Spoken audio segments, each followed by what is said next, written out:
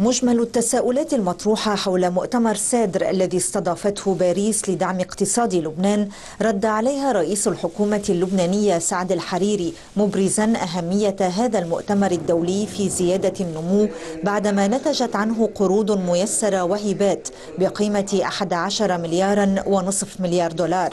نحن استقصدنا أنه يكون في آه لجنة متابعة من بثقة من الدول والمنظمات اللي حضرت سادر أموال مؤتمر سادر ستخصص لتنفيذ مشاريع تأهيل البنى التحتية بفوائد لا تتعدى واحدا ونصفا في المئة على أن يلتزم لبنان تخفيض العجز بنسبة واحد في المئة من الناتج على مدى خمس سنوات. الدين العام الذي يتجاوز 80 مليار دولار لن يقف. وبرأي رئيس الحكومة يتم كسر هذه الحلقة المفرغة بتطوير الاقتصاد من خلال مشاريع مؤتمر سادر.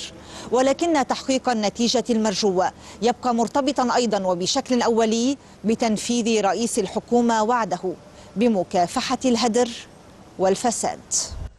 ترتكز الرؤية الاقتصادية التي عرضت على مؤتمر سادر على اعتماد الخصخصة والشراكة بين القطاعين العام والخاص في تنفيذ مشاريع حيوية كالكهرباء والمياه والطرقات.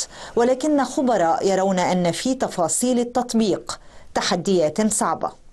عندما تبدأ عملية الخصخصة في مصالح كبيرة بدها تنهار لقوى اجتماعية ولفئة ربما من رجال الأعمال وفي مصالح جديدة بدها تنشأ لقوى جديدة.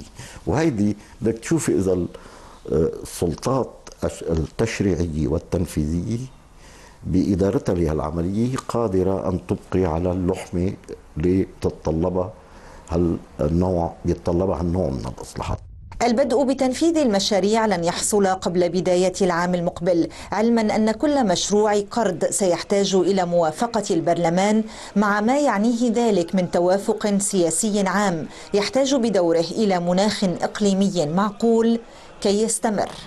كلودي أبي حنا الغد بيروت.